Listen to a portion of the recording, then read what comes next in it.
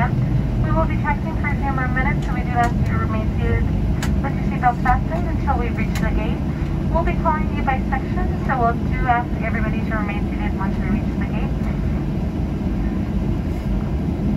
On behalf of this entire crew, it's been our pleasure having you on board with us. We'd like to take the opportunity to thank you for flying with United. We hope to see you on a future flight, and we'll be parking at gate E6.